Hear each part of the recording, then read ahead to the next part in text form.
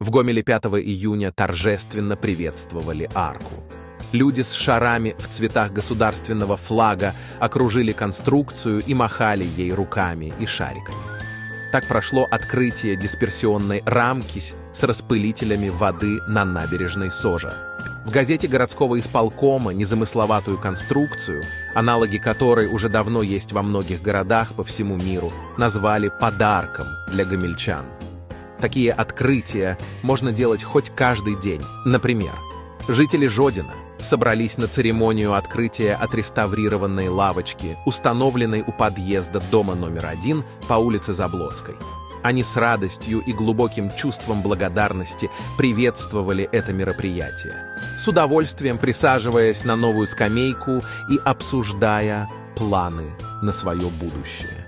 А между тем жители Смолевичей собрались на перекрестке улиц Липкой и Запашистой, где был установлен новый мусорный бак.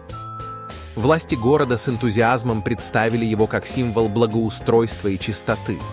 Жители приняли участие в торжественной церемонии, выражая радость от появления нового элемента в городском пейзаже и надеясь, что он станет достойным украшением их района. В свою очередь борисовские власти тоже постарались для своих жителей – Борисовчане собрались на центральной площади, чтобы отметить открытие новой городской клумбы в виде тапочек.